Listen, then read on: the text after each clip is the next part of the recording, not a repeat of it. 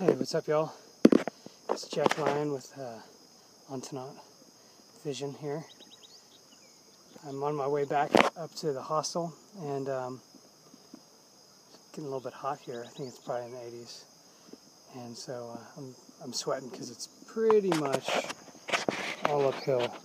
I don't know if you can really see that much, but um, went into town, got some tilapia fillets to cook with my hostel mates tonight, um, which includes another American guy and two ladies from Holland and a lady from uh, Switzerland. And just had an interesting adventure in town. No big events, but didn't find anywhere to eat immediately and ran out of money because I didn't cash enough yesterday and uh, ended up buying for a buck some of these little wraps from a from a uh, from a street vendor, just an old man. I, I walked up to him because there was an old lady buying from him, so I figured that was probably a good place to get something that the locals would uh, would be willing to eat. And it was good. I don't really even know what was in it. It was a little corn wrap with tasted like cheese and cornmeal mixed together or something. It was yummy though. Um, got a tarp for my tent and got a couple veggies holding off on much grocery shopping because tomorrow there's a farmer's market. And uh, nearby the soccer field in town, when I was walking into town, I saw a, uh, a house that in the garage was a whole bunch of hive parts for beekeeping.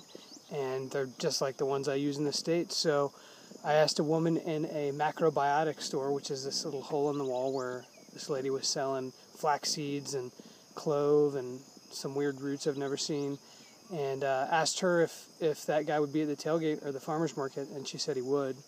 So, um, so I'm going to go see him tomorrow. Maybe I can get him to bring me to his bees. It'd be really cool to get into some bees while I'm down here.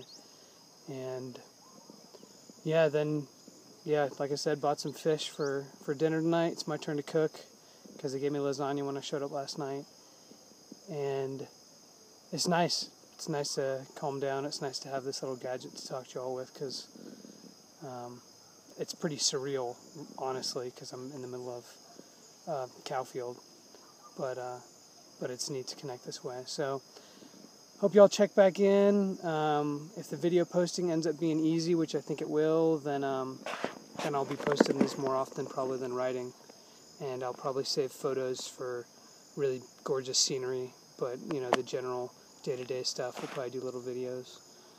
Um, yeah, so I'll give you a little spin before I turn this off here. So this is where I am.